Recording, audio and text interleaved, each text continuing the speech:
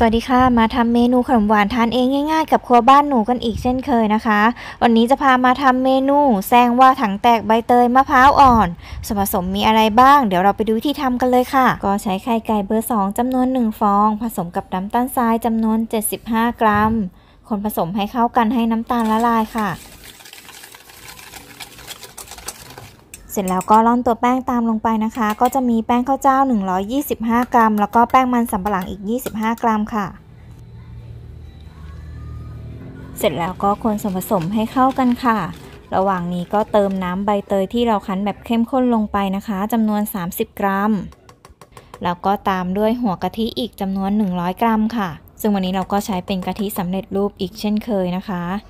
คนให้ตัวแป้งละลายให้ส่วนผสมทั้งหมดเข้ากันดี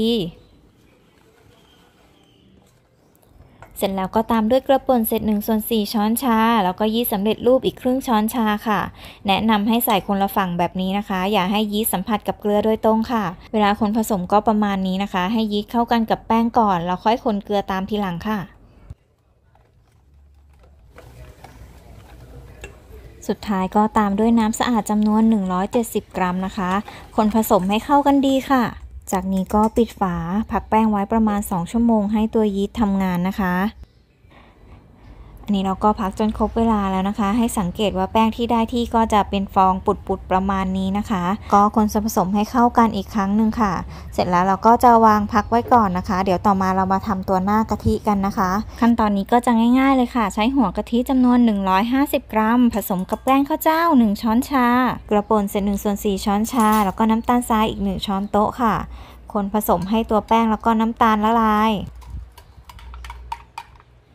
เสร็จแล้วเราก็ไปตั้งเตากันเลยค่ะสำหรับวันนี้เราก็ใช้เป็นกระทะสี่หลุมอีกเช่นเคยนะคะ พิกัดเดี๋ยวจะแปะไว้ให้ตรงคำอธิบายคลิปค่ะ โดยเราจะตั้งกระทะให้ร้อนนะคะ เสร็จแล้วก็ใส่น้ำแป้งส่วนแรกลงไปค่ะ ก่อนใส่ก็คนแป้งให้เข้ากันอีกรอบนะคะ ส่วนตัวก็จะใช้น้ำแป้งอยู่ที่ 2 กระบวยต่อหลุมค่ะสำหรับกระทะตัวนี้เราไม่จำเป็นต้องทาน้ำมันนะคะ เพราะเป็นกระทะเคลือบค่ะ สามารถใช้งานได้โดยไม่ต้องใช้น้ำมันนะคะ ก็ทำขนมด้วยไฟกลางค่อนไปทางอ่อนค่ะ เสร็จแล้วขั้นตอนนี้ก็จะเป็นขั้นตอนของการทำขอบให้กับขนมนะคะ ถ้าใครไม่ต้องการขอบจะไม่ทำก็ได้ค่ะ ก็ใส่กระทะไปมานะคะ ให้น้ำแป้งโดนขอบกระทะให้ทั่ว ตัวน้ำแป้งเมื่อเขาเจอกับขอบกระทะร้อนๆเขาก็จะแห้งติดกับขอบไปแบบนี้นะคะ เสร็จแล้วก็หาฝามาปิดตัวแป้งของเราจะได้สุกได้ง่าย ๆนะคะ เมื่อขนมสุกประมาณนี้ก็เปิดฝาออกนะคะ แล้วก็หยอดตัวน้ำกะทิลงไปค่ะ ไม่ต้องใส่เยอะมากนะคะ ประมาณเศษหนึ่งส่วนสี่ของกระบวยก็พอค่ะ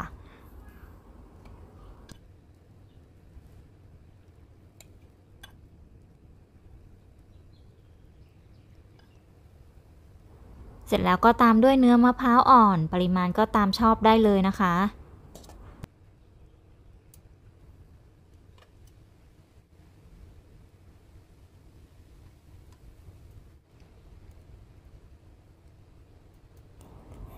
เสร็จแล้วก็ปิดฝานะคะรอให้ตัวขนมสุกดีค่ะ วิธีสังเกตง่าย ๆ ตัวขอบขนมของเราก็จะมีสีที่เข้มขึ้นนะคะ นี่ค่ะสีประมาณนี้ก็ใช้ได้แล้วนะคะ ก็ปิดแก๊สแล้วก็ยกลงจากเตาเอาออกจากกระทะได้เลยค่ะ นี่นะคะ ขนมของเราก็จะหลุดออกจากกระทะได้ง่าย ๆ เลยค่ะ บอกเลยว่ากระทะตัวนี้ใช้ดีนะคะ ไม่ต้องทาน้ำมันเลยค่ะ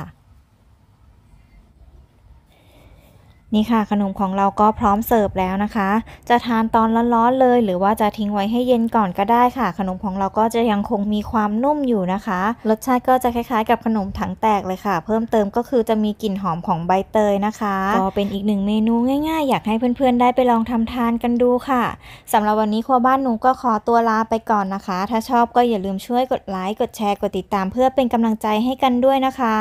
ไว้เจอกันใหม่เมนูหน้าค่ะ สวัสดีค่ะ